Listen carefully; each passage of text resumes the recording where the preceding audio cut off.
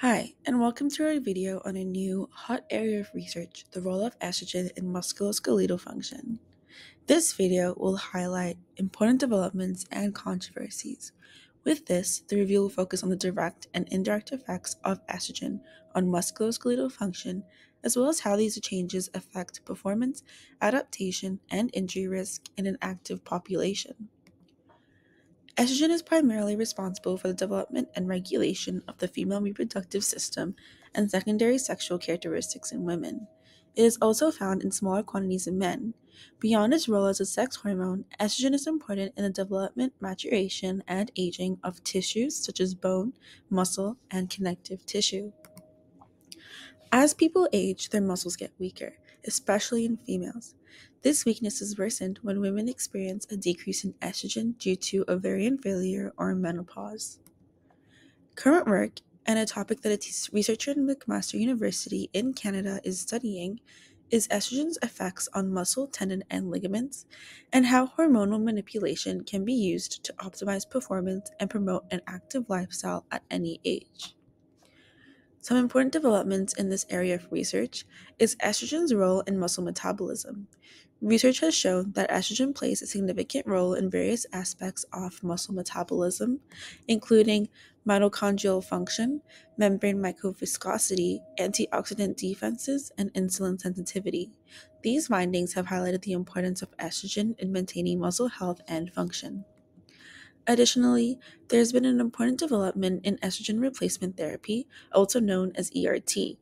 Studies have indicated that ERT can have positive effects on muscle mass and function in postmenopausal women. ERT, when combined with exercise, has been shown to be more effective in preserving muscle mass and function compared to either intervention alone. Finally, another big development is estrogen's role in muscle repair. Estrogen may, pl- may play a role in muscle repair and injury prevention, and some studies suggest that estrogen stabilizes the extracellular matrix or acts as an antioxidant, which could protect these muscles from injury and facilitate their recovery. Some controversies and limitations is the hormonal variability in women. The effects of estrogen on muscle function can vary based on factors such as age, fitness level, and the type of intensity of exercise. This variability makes it challenging to draw consistent conclusions about the impact of estrogen on muscle across different populations. Another controversy is regarding hormonal contraceptives, also known as OCs. The effects of hormonal contraceptives, which provide a relatively constant level amount of estrogen on muscle anabolism, are not well understood. Some research suggests that OCs with high progesterone levels may have a negative impact on muscle protein synthesis. Now, moving on to some unknowns and areas of future research.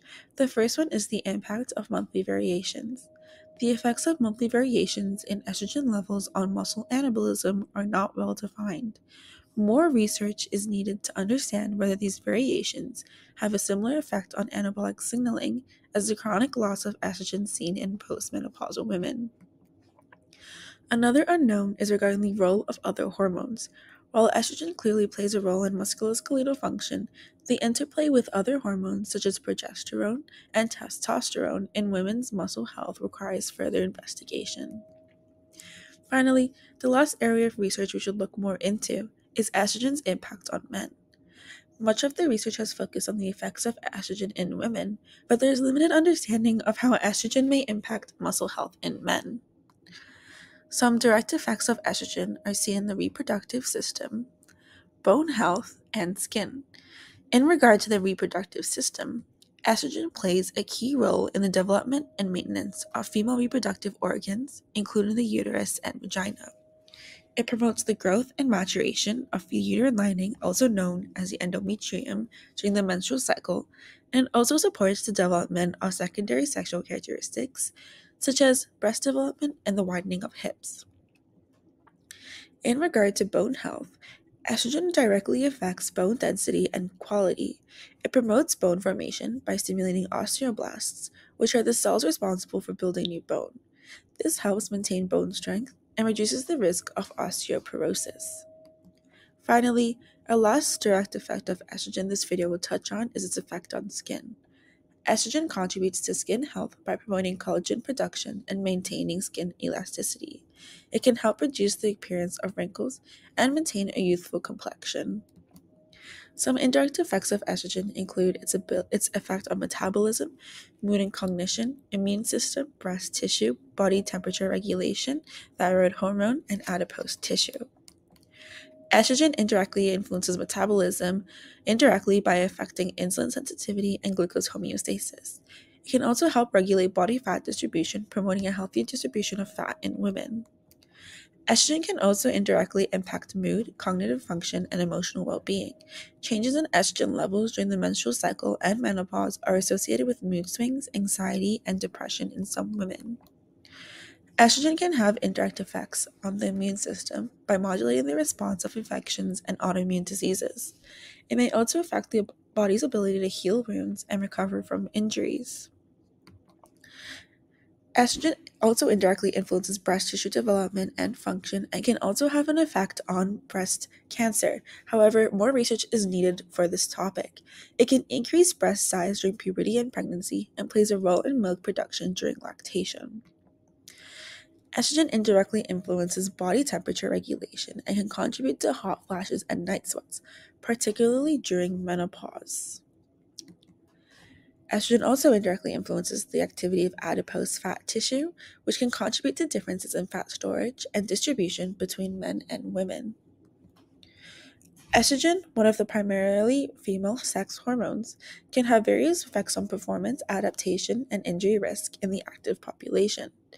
These effects can be influenced by factors such as the menstrual cycle, hormonal contraceptives, and individual variability, Here's how estrogen can impact these aspects. Estrogen can influence muscle strength and endurance. Some studies have suggested that women may experience variations in strength and endurance throughout their menstrual cycle. Estrogen may play a role in muscle contraction and energy metabolism. During the follicular phase, which is earlier in the cycle, when estrogen levels are rising, some women report feeling stronger. However, the impact of performance can vary bet- between individuals. Estrogen can affect thermoregulation, which is the body's ability to regulate temperature. Some women may be more heat sensitive during the luteal phase, which is later in the menstrual cycle when estrogen levels are higher. This can influence exercise performance, particularly in hot conditions. Estrogen may play a role in ligament laxity, potentially increasing the risk of injury, particularly during the luteal phase. This could make female athletes more susceptible to certain types of injuries, such as anterior cruciate ligament, also known as ACL injuries. Estrogen may influence recovery and muscle soreness. Some women report increased muscle soreness during the menstrual cycle, particularly in the luteal phase. However, research on this topic is mixed and individual responses can vary. Estrogen has been shown to enhance protein synthesis, which is important for muscle growth and repair. This effect can be beneficial for adaptation and recovery after strength training. It's important to note that individual responses to estrogen can vary significantly. Some female athletes may not experience substantial fluctuations in performance, adaptation, or injury risk throughout the menstrual cycle, while others may be more sensitive to hormonal changes. In addition, Athletes using hormonal contraceptives, such as birth control pills, may have more stable or variable hormone levels, which can alter some of the cyclical effects of estrogen.